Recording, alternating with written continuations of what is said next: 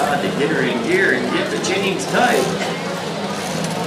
He's got a lot of ballast hanging off that little girl to get her up to 8,500.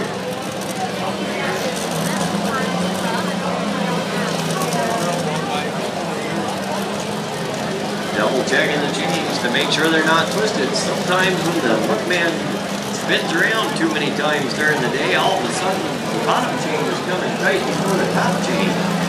That is something we don't want. Dyer on Little Bitty.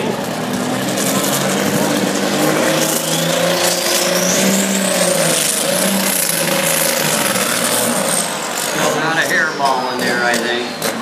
Uh -oh. But he's not